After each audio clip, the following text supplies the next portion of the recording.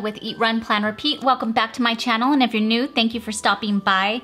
As you can tell from the title, today I'm talking about my Hobonichi pen search. Since purchasing my Hobonichi over a month ago, I've been on the search for the perfect pen, and I think I finally found it, but I thought I would share with you guys my journey to get to that pen. Just in case you happen to be going through the same thing, and if you're looking, maybe I can introduce something new to you, and maybe you'll like one of these pens more than I did. So I'm gonna move these aside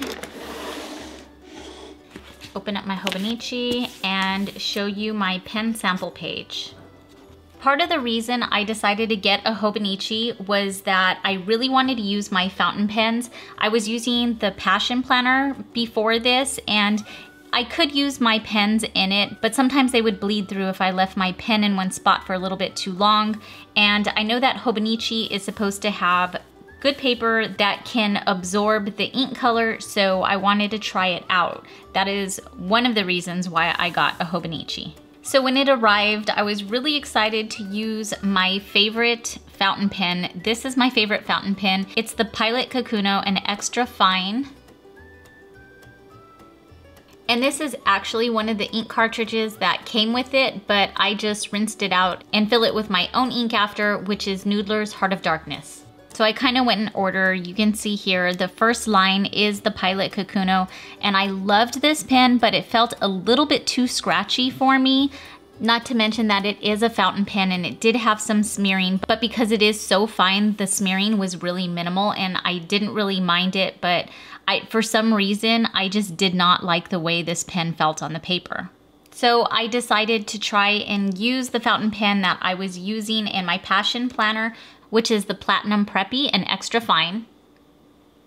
This is a very inexpensive fountain pen and again with this one too I would just refill the little ink cartridge that came with it with my own ink which is Heart of Darkness and I loved this pen in here. I don't know if you can see, you know what, let me zoom you guys in so you can see better. So this pen wrote like butter on this paper. I absolutely loved it, but because it did let out a little bit more ink, it smeared a whole lot easier. Not only that, a lot of times I flip back and forth between the pages in this book, mainly between my daily pages and my weekly pages, and I mean constantly. Like I'll write something in my weekly pages and then I'll flip over to my daily pages. So the ink was transferring onto the opposite page whenever I would do that, and it just started to make my pages look a little bit sloppy. Another issue I had is that I use a ruler and whenever I would use the ruler and draw the line and then pull the ruler away, a lot of times it would grab some of the wet ink that was still resting on top of the paper and drag it with the ruler. So that was driving me nuts. And like most planner addicts that sent me down the perfect pen rabbit hole, I was watching videos, I was looking on Instagram trying to see what everyone used, and I came across this pen. This is the Uniball Signo RTI in 3.8 black ink. This gel pen is smooth and consistent and it made me happy for about a week, but then I kept noticing smudging once again. It wasn't as bad as with the fountain pens, but it was bad enough to start making my pages look a little bit sloppy and I was finding myself whiting out little spots on my paper all the time because I can't stand how it looks when I have extra smudges around my paper. One of the things I love about Amazon is that you can return something if you don't like it, so I was about to return the pack to Amazon, but my husband asked if he could give them a try, and I was like, sure, but he hates extra fine or even fine pens. He likes a broader pen, and I was really surprised when he fell in love with this pen. So because he's someone that doesn't even like fine pens, I thought I should give it another try because surely if he likes it, I should probably like it too. So I went ahead and tried using it again. After a few weeks with this pen, I still kept noticing that there were smudges even when I would give it a little bit of extra time to dry.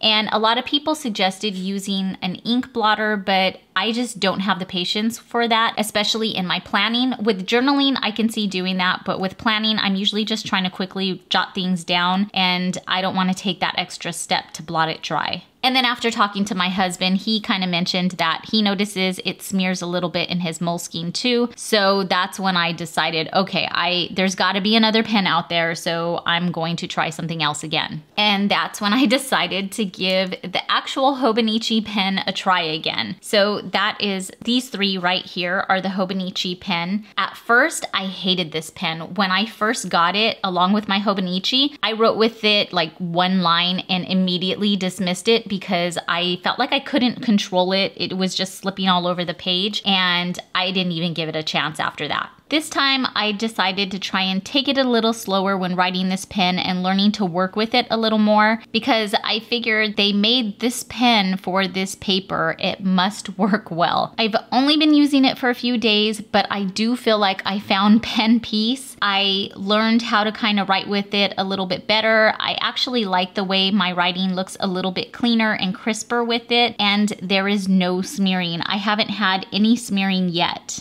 I also like how the pen feels in my hand. This pen was a little bit thin for me, a little bit narrow, but this barrel fits in my hand perfectly. So even though I don't use all the colors, really, um, I ordered more just the other day and they're supposed to get here tomorrow, but I ordered all black because I figured I'll just flip through them and keep them all in one pen since I like the size of the barrel. Another reason why I like this pen is that it's perfect for my Stalogies. I use two of them. I use one for journaling and one as a notebook. And one of the things about that notebook is the grid lines are a lot lighter than on the Hobonichi. And when you write with a dark pen on one side and then you flip the page over, sometimes it's hard to see the grid lines because your pen does a lot of ghosting and that doesn't happen with this and the feel. I know this is so weird and random, but I love the feel of the pen in this planner.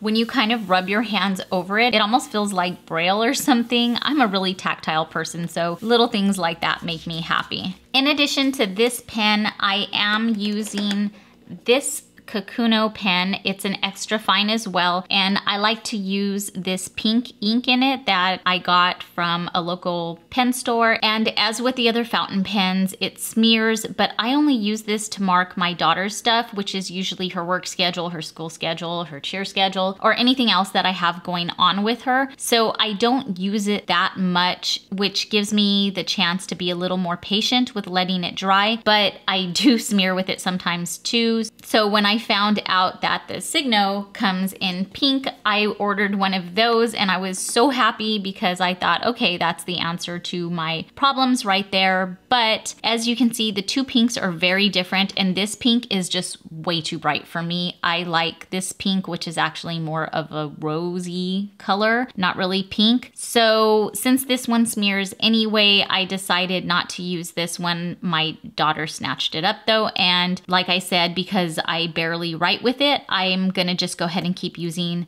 my fountain pen for that.